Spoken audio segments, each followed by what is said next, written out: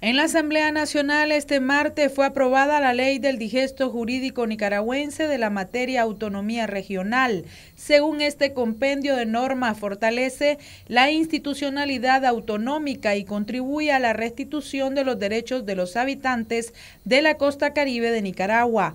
La Asamblea Nacional aprobó también con 70 votos a favor la propuesta de ratificación de nombramientos de tres miembros propietarios del Tribunal Aduanero y Tributario Administrativo.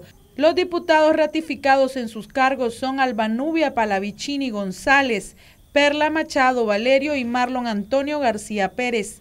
La Junta Directiva y diputados de la Asamblea Nacional recordaron también al diputado de la bancada del PLC, Carlos Girón Bolaño, fallecido el pasado 19 de mayo, destacando su trabajo legislativo y en su honor guardaron un minuto de silencio.